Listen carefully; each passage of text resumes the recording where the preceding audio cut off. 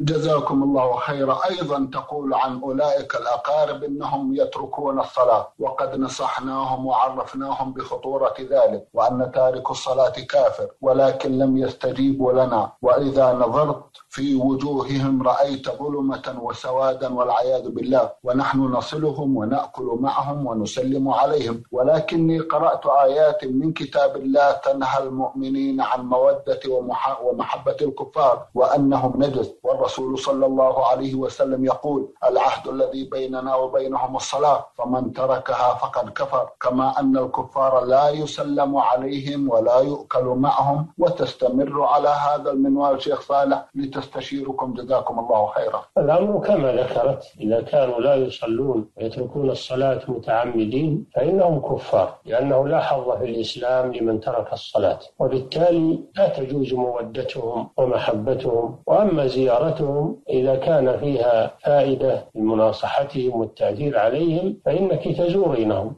وأما إذا كانت زيارتهم لا تؤثر فيهم ولا تجدي فيهم النصيحة فإنه تجب مقاطعتهم وهجرهم حتى يتوبوا إلى الله سبحانه وتعالى. نعم.